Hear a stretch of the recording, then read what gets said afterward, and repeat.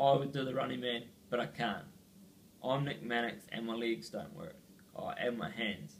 Where not much really works anymore to their full extent.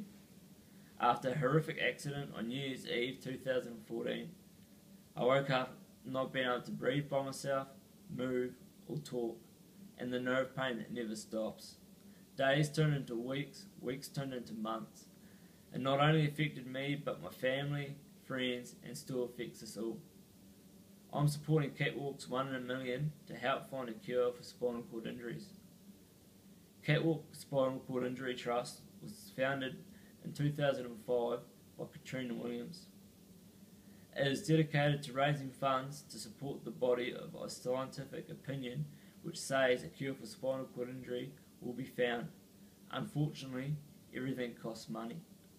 So imagine if you or your children, family members, or best friends were to wake up like me, scared and not in control of what's going on.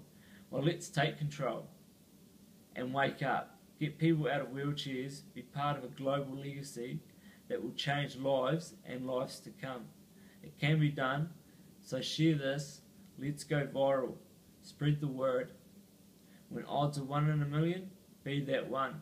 Join me.